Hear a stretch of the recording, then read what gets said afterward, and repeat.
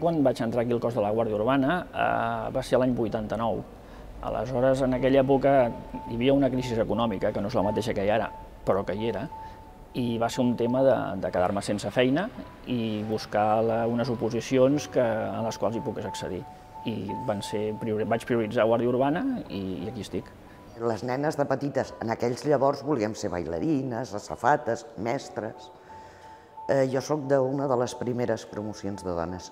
Suposo que hi va influir molt que el meu pare fos, fos ja del cos i l'alegria i la il·lusió amb què ella em parlava de coses.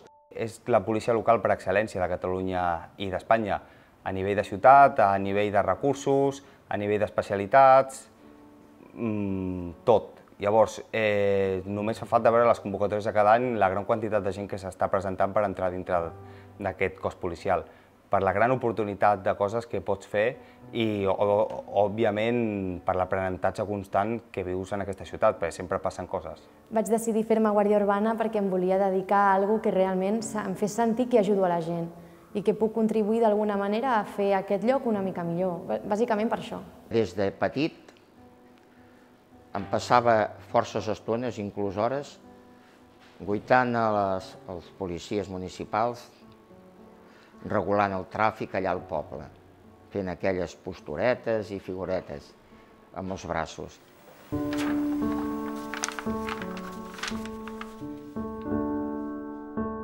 La Guàrdia Urbana d'aquell temps, de Barcelona, doncs era totalment diferent i si tenies algun problema doncs tenies que anar a un bar o a una porteria per trucar a la central, a la central de mando, que es deia abans, i dir, mira, que ha passat això, és que aquí m'han requerit per això, és per allò, eh, eh, el semàfor se n'ha apagat a tal Cruïlla i et desplaçaves. Era totalment diferent. Ara està molt més, està, està molt més, molt més bé, perquè el guàrdia està molt més protegit.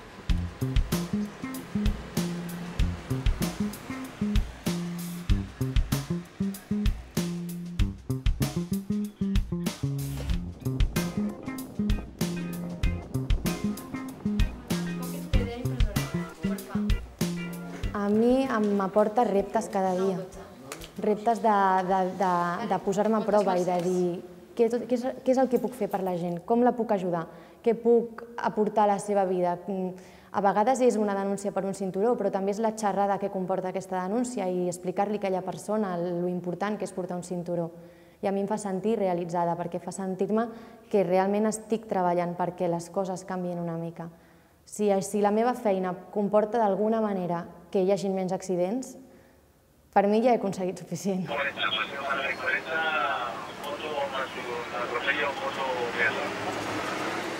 l'accident. Vale, doncs ara anirem cap allà. 40, queda l'alçada de... Mira, el dia a dia d'un agent de la Guàrdia Urbana, en el meu cas, que estic al matí, és matinar i allò de mm, a veure què em depara el dia. Estar una mica preparat per tot i si no, que no et sàpiga mai greu preguntar, contestar, preguntar a qui en sap més que tu. Per mi, treballar a la Guàrdia Urbana significa il·lusió, significa una recompensa, però una recompensa moral, vale? perquè aquí constantment estàs ajudant, estàs informant, estàs vetllant per la seguretat de la gent i per mi, doncs, cada vegada que arribo a casa arribo il·lusionat del dia a dia.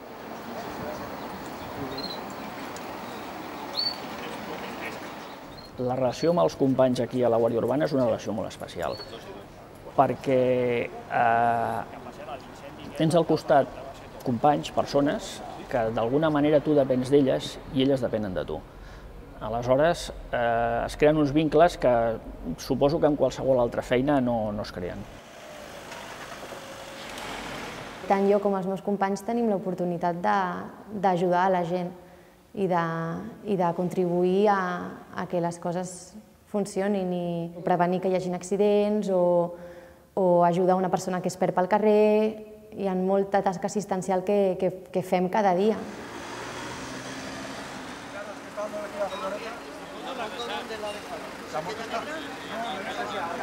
Creuava en diagonal, en diagonal cap avall. Cap allà, sí. T'aporta coneixement, perquè és igual, sempre n'estàs aprenent.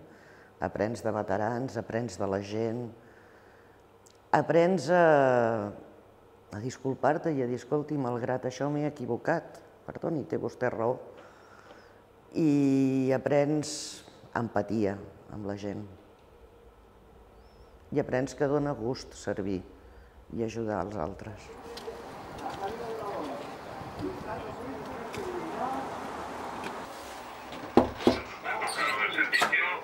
Hola, buenos días. Hola, buen día. Mire, veníamos a interesarnos cómo están después de lo del incendio, que fue serio, que, que no pasó por poco al otro lado. La feina de guàrdia té un... és apassionant, però bàsicament el que la fa més, més especial és que tu saps a l'hora que entres a treballar i en el lloc que entres a treballar, però no saps on estaràs al cap de mitja hora, al cap d'una hora o al cap de sis hores.